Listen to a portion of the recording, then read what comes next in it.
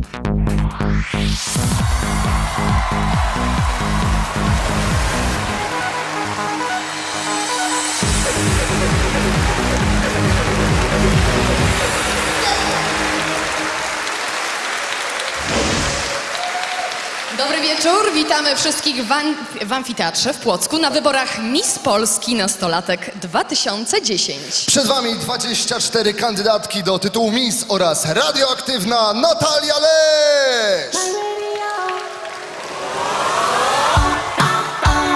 Wow.